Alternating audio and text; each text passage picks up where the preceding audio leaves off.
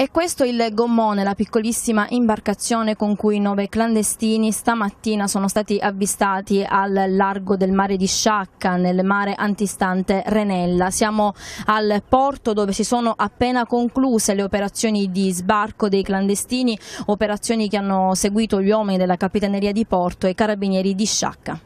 Libici e tunisini, questa la nazionalità che hanno dichiarato al momento dello sbarco. I nove clandestini, tutti uomini, avevano lanciato l'SOS ieri sera. La chiamata era giunta al centralino dei carabinieri di Mazzara del Vallo. Carabinieri che hanno subito avviato le procedure per il soccorso allertando le capitanerie di Porto di Mazzara e Sciacca. Le ricerche nella notte non avevano dato alcun seguito ed erano comunque proseguite fino a stamattina quando della piccola imbarcazione a largo di Sciacca a Renella si è accorto un bagnante. Gli uomini della Guardia Costiera di Sciacca a bordo della motovedetta hanno raggiunto il gommone a due miglia dalla costa e soccorso i nove, alcuni molto provati dal viaggio in mare. Giunti al porto di Sciacca a bordo della motovedetta, per tre di loro si è reso necessario, a causa delle difficili condizioni di salute, il trasferimento all'ospedale. Per gli altri, dopo le operazioni di sbarco, adesso si apriranno le procedure di identificazione, il trasferimento nei centri di accoglienza e poi eventualmente l'iter per l'espulsione.